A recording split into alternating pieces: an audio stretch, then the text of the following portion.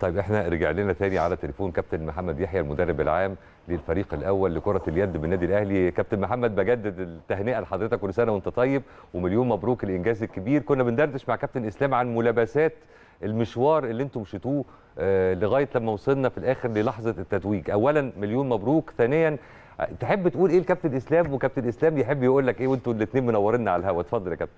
والله هو يعني هعيد لحضرتك تاني. ربنا يبارك في حضرتك ومتشكر جدا لحضرتك. آه يمكن كنا وقفنا عند حتة إن أنا بقول لحضرتك هو فعلا كان موسم صعب جدا وشاق يعني. يمكن كابتن إسلام كان لسه بيتكلم في الجزئية دي إن أنت كنت بتبني جيل جديد للنادي الأهلي بيجمع ما بين الخبرات اللي موجودة زي الكابتن إسلام والكابتن مصري وغيره من اللاعبين الكبار ولاعيب معدل الاعمار السنية بتاعتهم صغيرة. هم صغيرين سنا أه لكن كبار جدا فنيا. وزي ما كان لسه بيتكلم كابتن إسلام على شخصياتهم شخصيات قوية. انت كنت دايما في تحدي دائم إن أنت عايز تعمل جيل كبير وكانت مهم جدا جدا المكسب ده عشان يدخلهم ويديهم حافز كبير قوي في البطولات اللي جاية.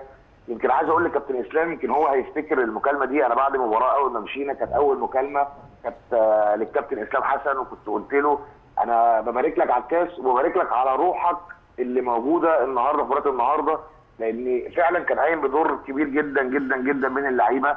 إزاي كان عندهم اصرار إزاي كان عندهم تحدي إزاي بعد مباراة الدوري كنا ربنا ما وفقناش في ماتش الدوري نهائي الدوري إزاي قدر يلم الفرقة إزاي يتكلم معاهم نفسيا إزاي يأهلهم نفسيا إن أنت تخوض بطولة.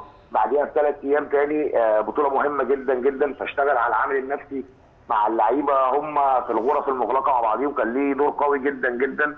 يمكن كان إسلام اتعرض برضه في الماتش ال semi final لإصابة بسيطة كده في رجله. عايز أقول لحضرتك إن فضل قاعد بايت لغاية الصبح تاني يوم بيعمل جلسات على رجله عشان يلحق يكون موجود مع مع الفريق. يمكن أنا رحت سألته برضه قبل قبل بداية المباراة قادر جابر قال لي أنا قادر مجرد حتى كان في كلمة بيني وما بينه كده على البنش إحنا قاعدين بقول له إيه الأخبار؟ قال لي أنا نزلت جوه الملعب نسيت أي إصابة. فأنا بشكره بشكره على الروح اللي هو اللي هو كان فيها دي والإصرار اللي كان فيه إن هو يقدم حاجة لجمهور النادي الأهلي ولاعيبته وللجهاز الفني.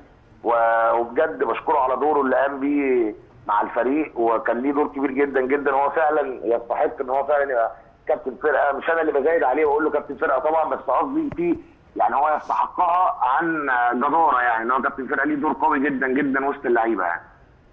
طيب كابتن يحيى طبعا مساء الخير وألف مبروك مرة ثانية عندي بس سؤال يعني مرتبط بالكلام اللي حضرتك قلته فكرة الشق النفسي. حضرتك بتعتمد على إيه علشان يعني ترفع من روح اللعيبة معنويا بعد خسارة؟ هل حضرتك بتركز على الأخطاء؟ هل حضرتك بتلجأ للوم ولا بترجع بتلجأ للتشجيع؟ يعني إيه الثقافة المتبعة اللي إن تأثيرها كان على الأرض أكثر من رائع بصراحة؟ هي بتبقى هي بتبقى بتبقى مراحل يعني هي هو ما ينفعش بعد الهزيمة اللي هي كانت في نهائي الدوري ما ينفعش أنا أفضل أتكلم في أخطاء آه على طول. يعني لازم مم. الأول آه أعالج الناس دي نفسيا أدخل اللعيبة في جو البطولة تاني.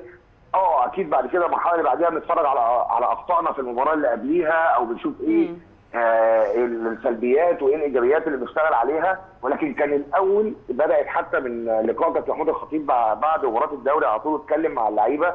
ما كلمهمش بأخطاء على قد ما كلمهم اداهم الحافز النفسي وقال لهم شخصية البطل آه مش مشكلة تخسر آه بطولة النهارده انت بتعمل فريق على اللونج ران ومستقبل لنادي فلازم تركزوا في البطولة اللي جاية ولازم تقدموا بطولة لجمهور النادي الأهلي ولنفسيكم فاحنا اشتغلنا الأول على العامل النفسي يمكن قعدنا اتكلمنا مع لعيبة كتير كابتن سامع قعد كابتن طارق محروس قعد يمكن أنا قعدت مع, مع لعيبة كتير بحكم برضه قربي من اللعيبة يعني قعدت اتكلمت معاهم بحاول أخرجهم.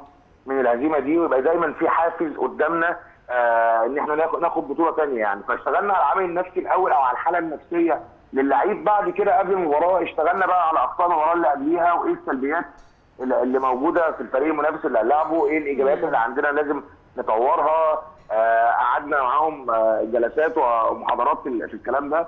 آه ولكن عايز أقول لحضرتك برضو مهما كان الجهاز الفني على أعلى مستوى أو دار أو دار الموقف بشكل عام بصورة كويسة. آه صدقيني دي بجد اللعيبة لو ما عندهاش الإصرار ده وما عندهاش الحافز ده وما كانتش بتلعب بالقتالية دي آه ما كناش آه قدرنا نحقق أي نجاح ولا قدرنا نطلع بطولة الكاس أو قدرنا نعدي بالمباراة. يعني فعلا أنا بشكر كل اللعيبة بشكرهم لعيب لعيب يعني وعلى رسول طبعا الكابتن إسلام والكابتن الفريق. فعلا ما كانش عندهم الإصرار والعامل النفسي ده يمكن أي جهاز فني يبقى قريب آه من لعيبته آه بيشتغل وبيجتهد في كل آه ال- الأسباب اللي ممكن أو أهداف النجاح. ولكن في الأول وفي الآخر اللعيب هو اللي بيأدي الكلام ده جوه الملعب. فاللعيب لو ما عندوش الإصرار والحماس والروح القتالية دي فعلا ما كناش هنقدر ننفذ كل اللي إحنا فكرنا فيه. فهي منظومة واحدة اللعيبة ساعدتنا بشكل قوي جدا جدا. الجهاز الفني آه كان ليه دوره طبعا بس اللعيبة أنا بشكرهم لعيب لعيبة على الروح اللي كانوا فيها دي.